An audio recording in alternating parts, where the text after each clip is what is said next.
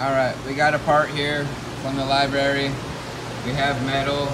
We traced it. It went all the way around in one area. We're gonna see if it'll cut by pushing this green button.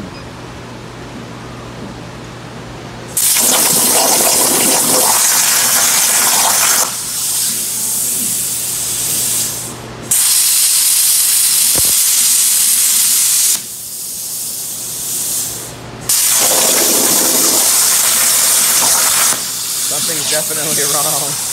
It's way too high.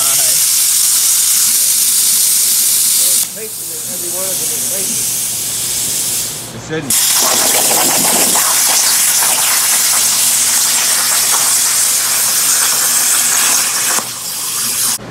So everything's wet, but we did cut apart. And it looks like hammered dog shit. And it kind of looks like our screen did. So Minus that's the two holes. that's not what I want at all. So I gotta fix something. But we're getting there. Our water is not gonna stay pretty and pink. One cut, that's what it's done so far. It'll all be black before we know it. All that cuz says we're ready to cut. We're gonna try to cut this part on this table, but we moved it away from us so we don't get wet this time. We'll see what happens when we push the green button.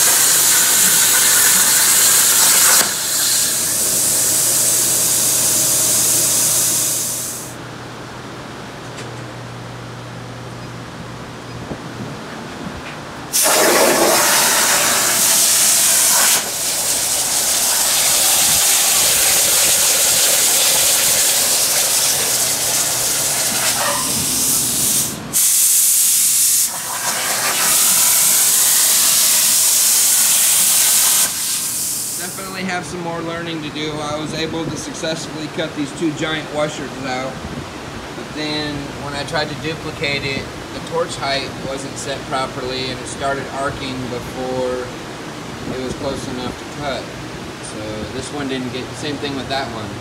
I was able to cut this one, that one, and then this is my first cut piece ever. It's a hot mess.